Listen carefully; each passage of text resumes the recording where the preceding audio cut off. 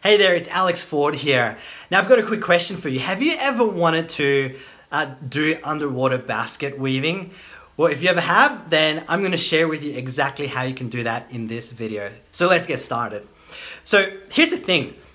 I do want to share with you how to do that. And you know, just before I did some quick research on basket weaving, because what happened was I was doing this webinar which I'm still on right now, and you probably see a bunch of people on there. Kind of set myself a challenge to to create do bath to just create a piece of content on on just a random topic, right? So what I did is I went on Google, right, and I've got like over 170 like or 200 people on this webinar right now watching me do this and I went on Google and I did a search for you can probably see it there for basket weaving and find out how to do it and kind of teach you so here's the thing, unfortunately, I'm not gonna be able to teach you how to do basket weaving because I found out there's not really much on there on how to do it.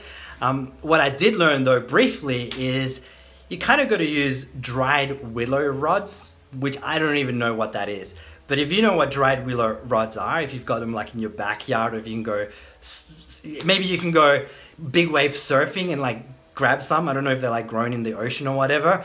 Then maybe you can right? And then the other thing you need is obviously water. And I was learning that you need like a trough or something, like a big trough of water. Um, and then you have to put the willow rods in the water or something, and then you can weave them or whatever. So look, to be honest, I am not an expert. I have no idea what I'm doing. Um, and um, I, I, I'm, I totally stuffed this up, right? But at the same time, I think this is a cool lesson that they're you know I, think for these guys too right? You don't have to be perfect. You just have to do it. You don't even have to know the topic. Like just do a video right? Um, and if you embarrass yourself embarrass yourself right? But you know this is my video on basket weaving. Um, I've got like two minutes left. So I hope that you got some value from this or at least you found it entertaining that I just didn't know what the heck I was talking about here.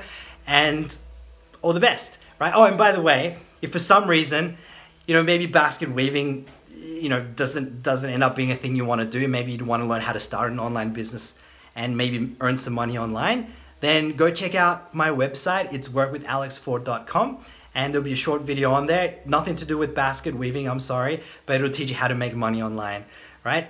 Catch you guys in the next video.